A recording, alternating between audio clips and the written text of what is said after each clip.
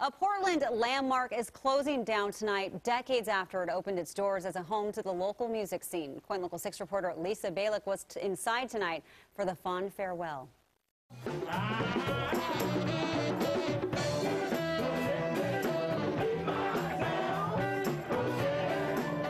They've got the blues more than ever tonight at the Candlelight Room, a wailing goodbye to a Portland landmark loved by so many music fans.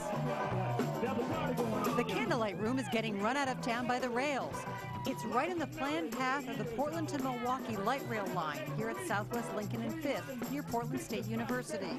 A lot of great bands have come through here. And the Portland Dave Williams flew so up from Las so Vegas diverse. to pay tribute to where he started as a bouncer, then worked his way up to launch a singing career. This facility has allowed me to actually go out and just do my music and have a great time. Many of those inside tonight recall this as a place where they met close friends, even spouses.